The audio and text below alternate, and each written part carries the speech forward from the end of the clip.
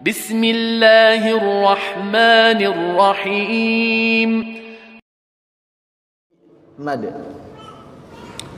Sifat berikutnya yang kemudian disebutkan oleh Al-Imam Ibnu Jazari rahimahullahu taala, nafa'ana Allah bi ulumihi wa bi ulumikum wa bi ulumis sa'irin as-salihin fid dharain wal inhirafu suhiha fil lami war ra. Dan ada lagi yang namanya sifat al-inhiraf.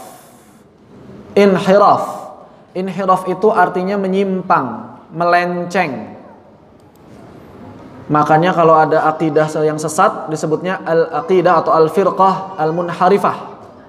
Aliran-aliran sesat. Aliran-aliran yang menyimpang. Jadi inhiraf itu menyimpang ya. Miring, melenceng dari mana? Melenceng dari tempat yang semestinya.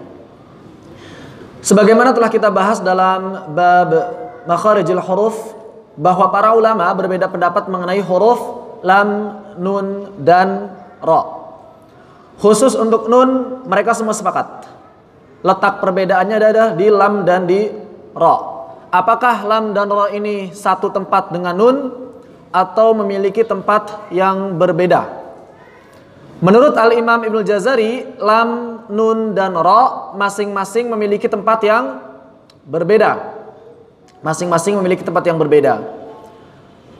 Namun kenyataannya ketika kita mengucapkan huruf lam dan ro, maka lidah mengalami pergeseran dari tempat yang semestinya, dari tempat yang telah disebutkan oleh Al-Imam Ibnul Jazari. Menurut Al-Imam Al-Farra, Kutrub dan Ibnu Kaisan bahwa penyimpangan tersebut disebabkan karena rumah lam nun dan ro itu luas rumah lam nun dan ro itu luas sehingga sebetulnya mereka satu rumah hanya boleh bergeser-geser. Ini logikanya Al-Farra, Kutrub dan Ibnu Kaisan. Adapun menurut Ibnu Jazari tidak demikian. Menurut Al-Imam Ibnu Jazari bahwa lam nun dan ro memiliki rumah masing-masing.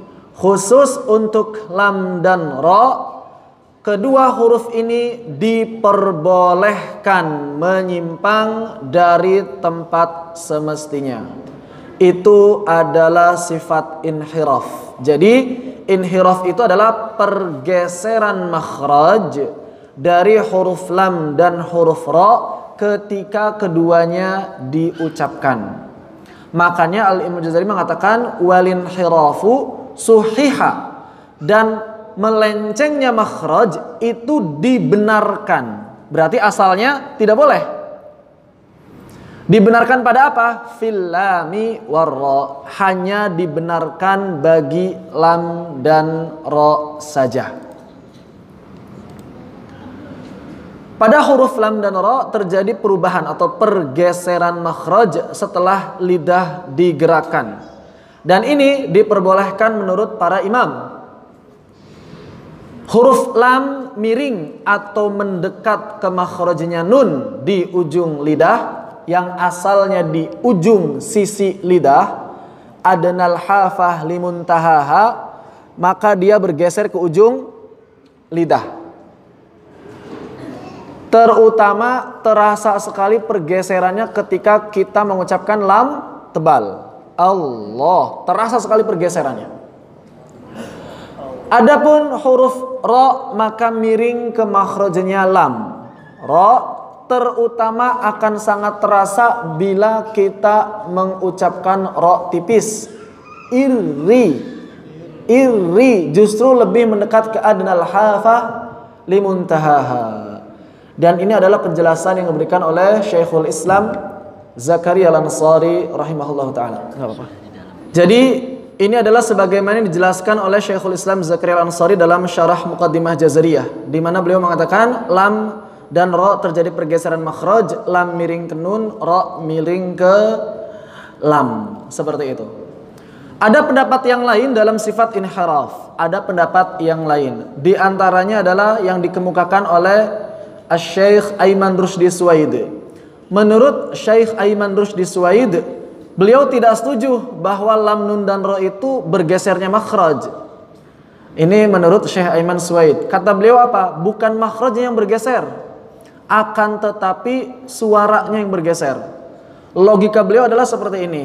Ketika kita mengucapkan huruf lam dan ro, maka suara yang mengalir dari jauh itu bergeser mengikuti huruf atau mengikuti ujung lidah yang menyentuh langit-langit. Perhatikan gambar berikut.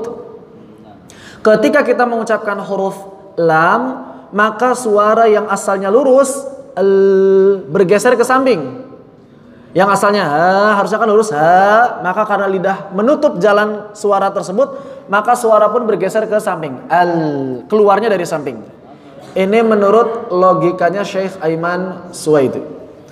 Adapun huruf ro justru ketika kita mengucapkan r r maka suara yang berbondong-bondong dari jauh itu tidak lurus akan tetapi mengerucut ke tengah semuanya keluar dari celah yang merupakan makhrajnya ro r r seperti itu. Ini logikanya Syekh Aiman Suwaidi. Ikut pendapat yang mana kalau sudah begini eh dua pendapat ini setelah kemudian kami pelajari dan juga kami mendapatkan info-info atau pendapat-pendapat yang lain. Kedua pendapat ini insya Allah bisa kita jamak, bisa kita gabungkan. Maka dari sisi makhrajnya lam dan ro memang benar terjadi pergeseran sebagaimana yang kita rasakan bersama dan sudah kita praktekkan. Buktinya memang bergeser dan ini tidak bisa dibantah dan ini tidak bisa dibantah. Begitu pula suara yang mengalir ya memang seperti ini aliran suaranya dan tidak bisa dibantah. Sehingga inhiraf dapat kita maknai dua sisi ini sekaligus. Yang pertama pergeseran makhrajnya dan ini adalah pendapat mayoritas ulama bahwa inhiraf adalah pergeseran makhraj dan yang kedua adalah pergeseran dari sisi suara yang mengalir dari jauh. Yang ini merupakan pendapat di antaranya Syekh Aiman Suwaidi. Sampai di sini difahami al-inhiraf. Jadi dua pendapat ini bisa disampaikan kedua-duanya. Kalau di buku-buku tajwid atau kitab-kitab tajwid yang kebanyakan beredar, kebanyakan menjelaskan yang pertama, ya bergesernya makhraj. Karena memang itu pendapat mayoritas ulama. Kecuali beberapa buku tajwid kontemporer yang merujuk kepada At-Tajwidul Musawwarnya Syekh Aiman Suwaidi. Demikian, fadal Ustaz.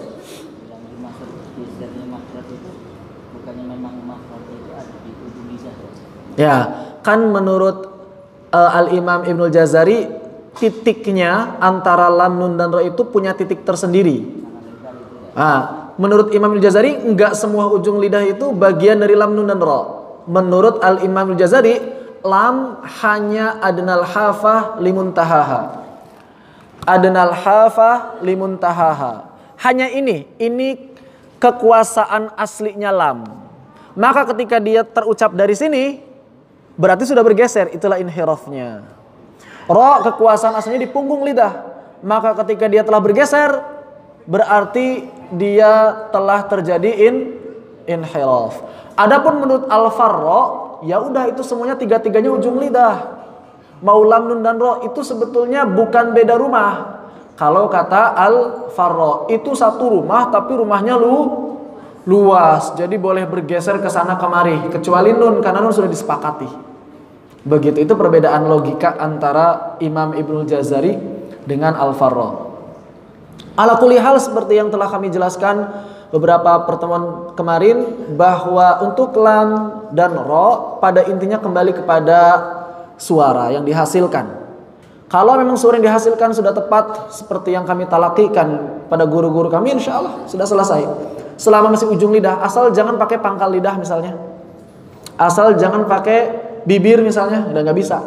Begitu ya. Jadi selama ujung lidah insya Allah tidak tidak disebut salah tidak disebut salah paling mungkin nanti ada yang sempurna ada yang kurang sempurna itu saja perbedaannya mudah-mudahan dapat difahami visual ibu-ibu ada yang mau tanyakan berarti sekarang huruf lam dan ro punya berapa sifat Punya enam. Ustaz, apa saja huruf lam? Jahar.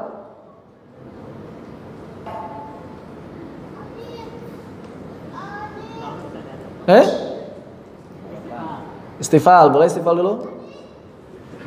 Kalau sudah istifal pasti infitah.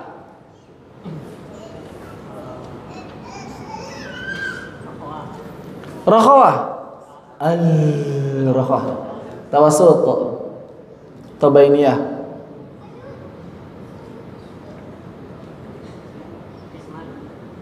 Ismat atau idlaq? Wa farra min lubbin. Idlaq. Terakhir. Inhiraf. Ra Ustaz.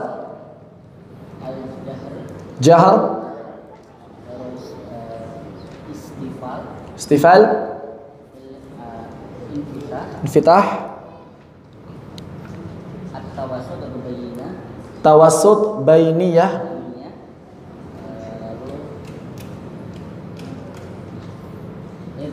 idlaqa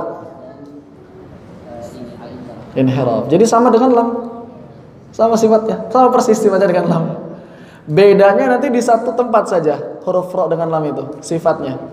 Belum kita bahas ya. Belum kita bahas. Jadi pura-puranya belum tahu gitu ya. Gitu.